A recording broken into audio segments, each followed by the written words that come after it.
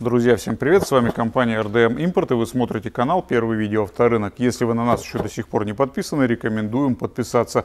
На канале большое количество интересного и полезного материала обо всем, что касается выбора и покупки поддержанного автомобиля, в том числе и обзоры. Обзоры тест-драйвы, обзоры технического плана, а также сравнения. Ну а всю интересующую вас информацию по автомобилям, по вакансиям и по нашей компании в целом вы можете найти на нашем сайте. Ссылочка будет на экране. Те из вас, кто уже давно подписан на наш канал, знают, что компания RDM Import занимается продажей поддержанных автомобилей в городе Новосибирске. Но в последнее время в наши руки все чаще попадают и машины новые, ну или почти новые, ввозимые по так называемому параллельному импорту. И сегодня один из таких автомобилей. Это довольно интересная машина, интересная по своему сочетанию потребительских качеств и по своему происхождению. Suzuki Balena, третье поколение. Ранее на нашем канале мы уже делали обзор на Suzuki Balena второй генерации, но то была праворульная машина для внутреннего японского рынка с литровым турбомотором. Этот случай довольно интересный. Suzuki Balena третьего поколения, очень напоминающий второй внешне, не продавался в Японии и вообще не существовал версии с правосторонним расположением рулевого управления. Эти автомобили собирались в Индии в основном для рынка Арабских Эмиратов. И если в Японии Suzuki Balena закончил свою конвейерную жизнь в 2020 году, то история этой машины только началась в 2022. Что касается выбора агрегатов, здесь они также отличаются от того, что можно найти под капотом японского родственника. Здесь один единственный бензиновый двигатель объемом 1,5 литра на 103 лошадиные силы. Коробка передач механика либо автомат, ну а привод сугубо передний. Наш сегодняшний экземпляр 2022 года выпуска на одометре этой новой машины всего 149 километров, а коробка передач здесь автоматическая. Suzuki Balena это компактный хэтчбэк, но далеко не кейкар. Габаритные размеры длина 3 метра 99 сантиметров, ширина 1,74 м, а высота 1,47 м. Колесная база этого пятидверного хэтчбека 2 метра 52 сантиметра. Автомобиль довольно маневренный, радиус разворота здесь 5,1 метра. А также это один из самых легких в плане веса представителей своего класса. Снаряженная масса этого автомобиля всего 955 килограмм. Что касается толщины лакокрасочного покрытия, то этот автомобиль окрашен достаточно экономно. Слой краски здесь довольно тонкий и ни на одном месте не превышает 95 микрон. Минимальное значение показаний толщиномера в данном случае порядка 75. Обращает на себя внимание минимальный разброс, с которым на этом автомобиле лежит краска. Похожую картину мы можем наблюдать на свежих автомобилях для внутреннего японского рынка. Обзор автомобиля внутри по традиции начинаем с багажного отделения. Мы предварительно убрали отсюда полку и набор штатного инструмента, который в этом автомобиле по старой доброй традиции лежит просто в пакете. Домкрат, петля, вороток и баллонник. Все это не имеет здесь специального места размещения, то есть никаких дополнительных ниш под инструмент не предусмотрено. У Suzuki Balena достаточно большая погрузочная высота, и речь здесь идет не просто о том, что автомобиль стоит на подъемнике. Задний борт здесь действительно очень высокий. Ширина проема в данном случае это 90 сантиметров. Высота багажного отделения от пола до крыши 85. Длина по полу порядка 72 сантиметров, а ширина по средней части ровно метр. В целом для компактного автомобиля этот багажник не маленький, во всяком случае он очень глубокий. Но если этого пространства покажется мало, складывайте спинки заднего сидения. В ровный пол они здесь не падают, но в данной конфигурации длина багажного отделения у вас возрастет где-то до 143 сантиметров. Если же вам надо увести что-то длинное и узкое, что можно протолкнуть между передними креслами, то рассчитывайте на длину порядка 2 метров 32 сантиметров. В плане дополнительных удобств и фишек по багажному отделению здесь все очень скромно. Единственный плафончик с принудительным включением, плюс крючок для пакетов, но только по левой стороне багажного отделения. Под фальшполом в данном случае у нас располагается докатка и вокруг нее предполагается складирование штатного инструмента. Так что в целом, по меркам компактных хэтчбеков, грузовые возможности Suzuki Balena стоит признать вполне приемлемыми. Ну а теперь переходим в салон Suzuki Baleno третьей генерации. Отметить надо следующее. Сидеть здесь удобно, причем мне при росте метр восемьдесят шесть удалось быстро подобрать удобную посадку. Здесь присутствуют обе регулировки руля, как по вылету, так и по наклону, причем в довольно серьезном диапазоне. Сиденья также регулируются и вот это максимально отодвинутое назад положение. Я спокойно вытягиваю левую ногу в колени. Плюс здесь есть регулировка кресла по высоте. Поэтому с подстройкой удобной посадки здесь не возникнет проблем у водителей практически любого роста. Стоит отметить, что и само сиденье здесь удобное. У него ярко выраженный профиль боковой поддержки, причем не только на спинке сиденья, но и на подушке тоже. Оно надежно фиксирует ваше тело в поворотах. Что касается упоров под локти, на дверной карте присутствует подлокотник, причем отделанный кожей, ну, либо кожзаменителем в данном случае. И на центральном боксе также есть подлокотник, тоже отделанный кожей. В принципе, они достаточно удобные. Удобный здесь также руль, который имеет кожаную отделку, хороший профиль и очень неплохо лежит в руках по части клавиш и органов управления все привычно. Подрулевые переключатели на своих местах, переключаются они с приятным усилием, без дешевых пластмассовых щелчков, тянуться к ним не нужно. С левой стороны на дверной карте абсолютно стандартный блок управления стеклоподъемниками и боковыми зеркалами. Здесь они еще имеют и функцию складывания. С левой стороны от рулевого колеса находится блок вспомогательных клавиш. Здесь корректор фар, клавиша включения камер кругового обзора, отключение системы стабилизации, парктроники и ряд клавиш, управляющих проекцией приборов на лобовое стекло. Такая опция в этом автомобиле есть. При помощи этих клавиш вы можете регулировать проекцию выше-ниже в зависимости от вашей посадки, менять ее яркость, а также режим отображения информации. Довольно неожиданно увидеть на бюджетной машине подобную опцию. А пользоваться ей, кстати, удобно. На рулевом колесе у нас также три блока клавиш. Внизу управление подключенным по Bluetooth телефоном, с левой стороны мультимедиа, а справа круиз-контроль. Из физических кнопок в автомобиле остаются только клавиши управления климат-контролем. Панель удобная, управлять ей можно не отвлекаясь от дороги, индикация четкая и организована она понятно. Плюс есть авторежим.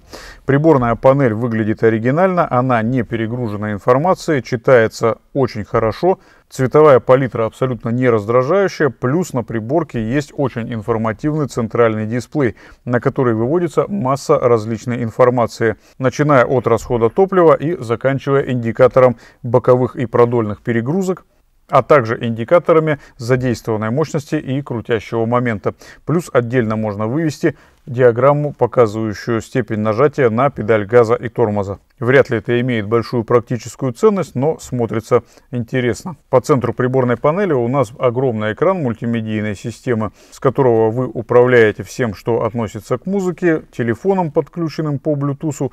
Здесь же информация с бортового компьютера по части расхода топлива. Ну и, конечно, картинка с камер кругового обзора, который здесь действительно круговой в прямом смысле этого слова.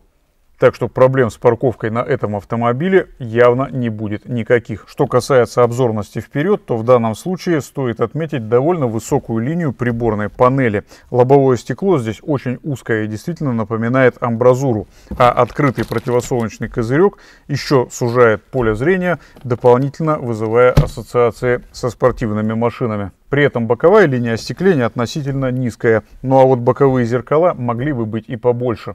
Во всяком случае, родственник этого автомобиля, модель SX4, имеет хорошие, большие по площади и информативные зеркала. Здесь производитель маленько поскромничал. При этом мониторинга слепых зон на машине, кстати говоря, нет. Что касается бардачков, подстаканников и прочих удобств, то в этом автомобиле присутствуют два подстаканника перед селектором коробки передач, который, кстати, здесь имеет привычную форму с курком блокировки.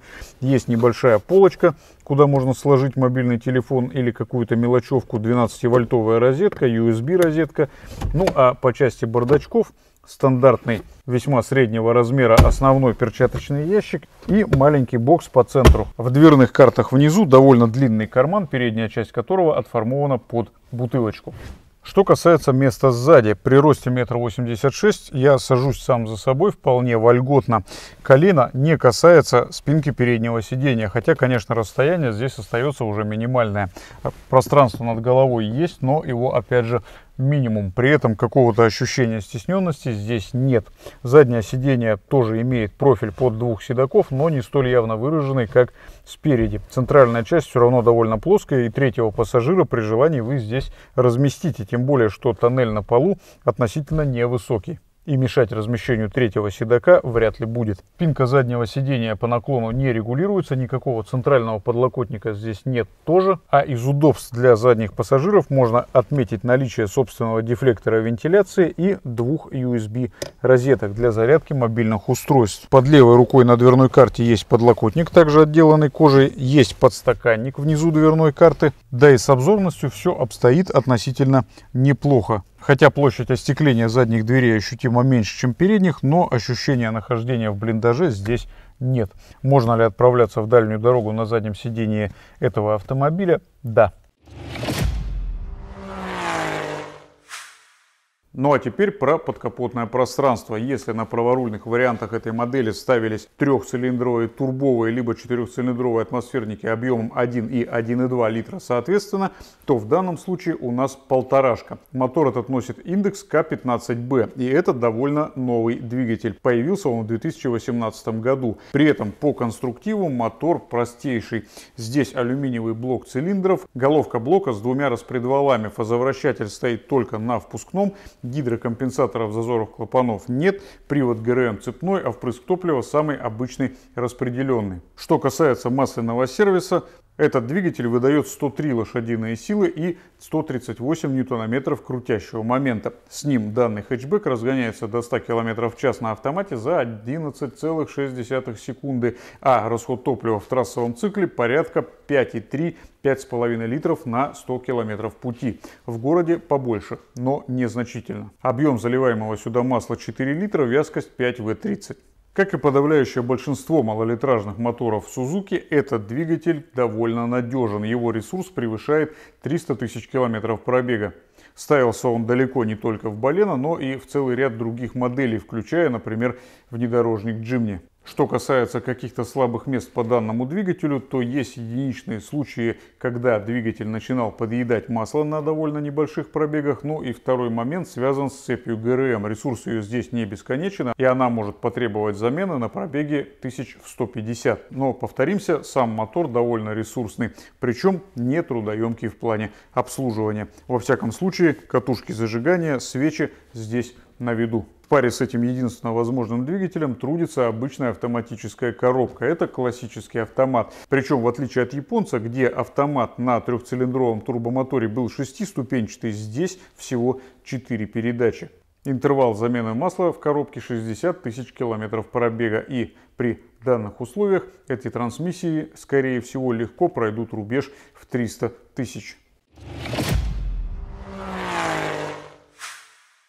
Ну а перед тем, как посмотреть на Suzuki Baleno снизу на подъемнике, давайте пробежимся по дорожному просвету, каталожное значение которого для этой модели 150 мм. Самая низкая точка в данном случае будет находиться по центру, под пластиковой защитой. До нее от поверхности асфальта те самые 150 мм. Чуть-чуть ниже этой отметки, буквально на 5 мм, находится резиновый брызговичок. До него 145. Сам же передний бампер находится в 19 сантиметрах от асфальта. Расстояние до порога за передним колесом 19 сантиметров. До края брызговика перед задним колесом 17, а до самого порога порядка 22 а расстояние от земли до заднего бампера целых 27 сантиметров. Причем нужно отметить, что чуть ниже этого габаритного значения свисает разве что буксировочная петля. Выхлопная труба полностью в габарите, поэтому по части клиренса Suzuki Balena это практически кроссовер. Ну а теперь давайте посмотрим, что представляет собой Suzuki Balena 22 модельного года снизу. В данном случае по части концепции подвески это классический вариант для данного класса компактных хэтчбеков. Передняя подвеска типа Макферсон, ну а сзади зависимая. Нижние шаровые опоры передних рычагов в данном случае запрессованы туда. По задумке производителя менять их придется вместе с рычагами, но на практике, я думаю, будут подобраны детали-заменители. Автомобиль новый, поэтому бросается в глаза обилие дилерской маркировки на деталях ходовой части в том числе. Рулевая рейка в данном случае у нас электрическая, никакого гура на этом автомобиле уже естественно нет. А стабилизатор поперечной устойчивости в данном случае расположен на подрамнике перед рулевой рейкой, поэтому подлезть к его креплениям в принципе можно, но придется изловчиться и сделать это вслепую. Также на этом новом автомобиле присутствует дилерская грязезащита моторного отсека. Сделана она из материала чем-то напоминающего войлок, ну а боковушки фартука здесь пластиковые. Что касается антикоррозионной обработки с завода, автомобиль собирался в Индии для рынка Арабских Эмиратов, поэтому по части антикора здесь все обстоит крайне скромно. По сути дела мы видим следовые количества шовного герметика, ну а кроме него никакого дополнительного антикоррозийного состава на днище мы не наблюдаем. Это просто окрашенный с завода металл. В задней части автомобиля мы наблюдаем топливный бак. Выполнен он из пластика и имеет объем 37 литров. А вот его заливная горловина состоит из резиновой трубки и все-таки металлической части, которая, кстати говоря, чем-то которая, кстати говоря, обработана чем-то наподобие антикора. Задняя подвеска здесь очень простая. Это самая обычная балка с двумя сайлентблоками. Амортизаторы и пружины разнесены по отдельности. Ну а по части тормозной системы, передние тормоза здесь дисковые, задние барабанные, ручник самый обычный механический. Все по классике. Но антикоррозийного состава сзади в районе усилителя бампера и тазика, естественно, тоже нет. Сугубо шовный герметик. Так что если вы планируете эксплуатировать такой автомобиль в регионе, где в ходу антигололедные реагенты и делать это долго, обработайте днище дополнительно, пока машина еще имеет вот такой общий вид. Таким мы увидели сегодня автомобиль Suzuki Balena третья генерация для рынка Арабских Эмиратов. Напоминаем, это новый автомобиль, пробег на одометре всего 149 километров, год выпуска 2022, полуторалитровый бензиновый двигатель 103 лошади, автомат и передний привод. Если вы уже обзавелись подобной машиной, проехали на нем достаточное количество километров, и вам есть в чем нас поправить и чем дополнить, обязательно пропишите все это в комментариях. Людям, которые думают о покупке подобного автомобиля, ваш комментарий может помочь помочь определиться с выбором. Ну а если заинтересовал конкретный экземпляр, который оказался сегодня у нас на подъемнике, есть хороший шанс, что к моменту, когда это видео будет опубликовано, машина все еще будет находиться в продаже у нас в городе Новосибирске. Всю интересующую вас информацию по автомобилю вы можете уточнить, воспользовавшись контактным телефоном, указанным в описании под видеороликом. На нем есть WhatsApp, так что звоните, пишите, задавайте вопросы. Если обзор понравился, оказался полезен, ставьте лайки, подписывайтесь на канал, пишите какие машины вы хотели бы видеть у нас на подъемнике в будущем, ну а мы постараемся их для вас раздобыть и отснять. На этом все. Спасибо за внимание, хорошего дня и до новых встреч на канале. Пока!